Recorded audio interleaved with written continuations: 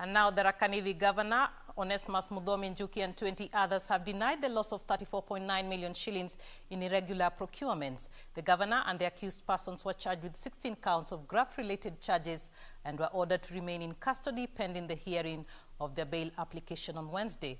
Njuki was taken into custody on Monday where he spent the day being grilled by EACC detectives. The purge against graft continued in court on Tuesday, with Tharaka Nithi Governor Onesmus Muthomi Njuki joining the list of governors who have been charged with economic crimes. Njuki was charged alongside 20 other accused persons with 16 graft-related charges before Chief Magistrate Douglas Ogoti. They pleaded not guilty to the charges. Is that true or not true? Accused number one, Onesmus. Not true. Frida. Florida.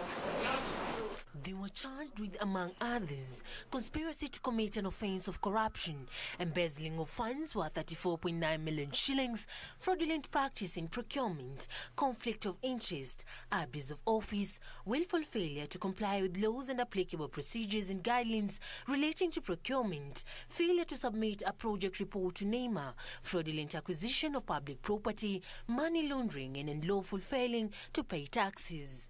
Chief Magistrate Douglas Ogoti deferred the bail application plea to Wednesday, citing the court was engaged. He ordered they be remanded at the Ethics and Anti-Corruption Commission Police Station, Parklands and Kileleshwa Police Stations. While Tharaka Governor Muthomi Njuki and other accused persons will now have to spend the night in police custody as they await for bail ruling by the Anti-Corruption Chief Magistrate Douglas Ogoti on Wednesday morning at 10 a.m. For Channel 1 News, I'm Sarafina Robbie.